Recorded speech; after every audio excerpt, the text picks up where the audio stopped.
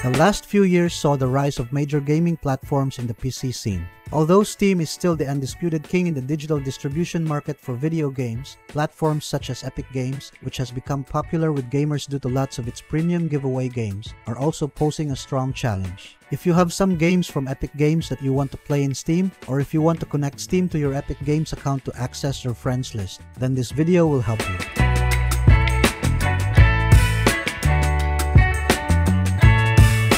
By the way, please like and share our videos to help those who might have the same issues so that we can help them too. Once you're done, then let's begin. Why link your Epic Games account to your Steam account? There are two main reasons why someone with an Epic Games account would want to connect to their Steam account.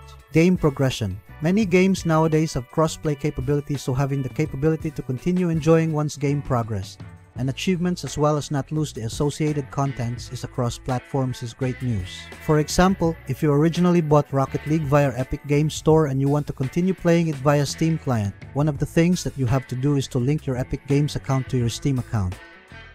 Next, convenience in getting connected with your friends. Another reason why you would want to link your Epic account to your Steam account is the ease of reconnecting with your friends between the two platforms. Epic Games Store would allow you to link to Facebook, and Steam at this time so if you have lots of gaming friends from these two platforms, you can easily add them once you connect your Epic Games account to your Steam account. So, how to connect Epic Games to Steam account. Sign into your Epic Games account using a web browser. Click on your profile name at the upper right. Click on Apps and Accounts at the left panel. Click the Accounts tab. Click on the Connect button for Steam you should see the link your Steam account page. Click the link account button. Sign into your Steam account. You may have to verify your account if you enabled Steam Guard. That's it.